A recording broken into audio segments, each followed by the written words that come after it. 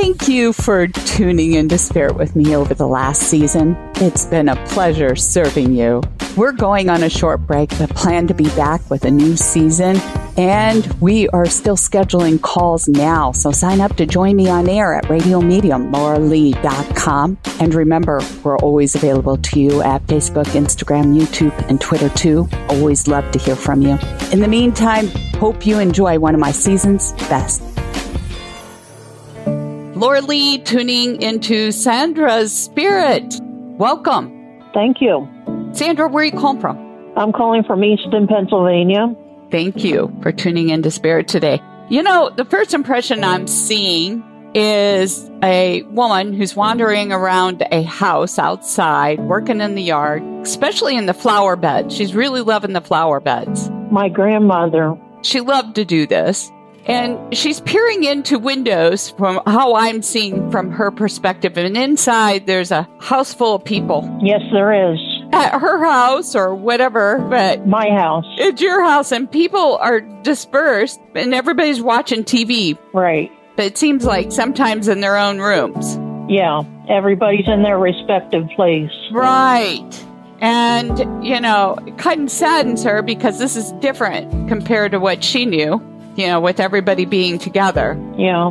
But anyway, she says that she wishes there was more communal or togetherness with you all. And it seems like there's a disbursement and miscommunications. And, you know, it's just easier sometimes to be in separated rooms. And there's more than one adult there. There's all adults here. There's all adults. What do we got? Four or five?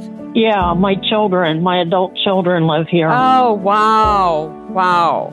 And she tells me that not all of them are carrying their weight. None of them are. Ah! Is there talk about paying rent? Has this been a discussion yes. uh-huh, to cover the rising expenses? Yes. That's my husband's concern. Yeah.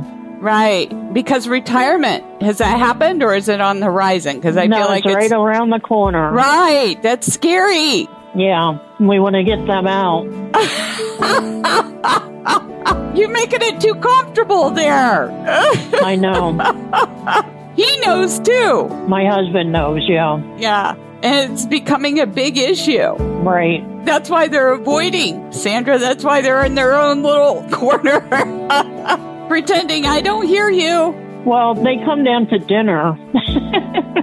Right, they do. And one of them, I feel like, has looking or trying to take on a new job or searching for a new job. Just got a new job. Just going to be starting it. Yeah, it feels very hopeful about this and turning it into something that they can fly. Move out. Yeah. Right. So there we go. I think you just need a leader in the group. And I think that will be the start.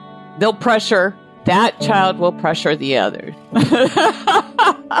That's what I'm getting from mother who's here in Grandmother. spirit. Yeah.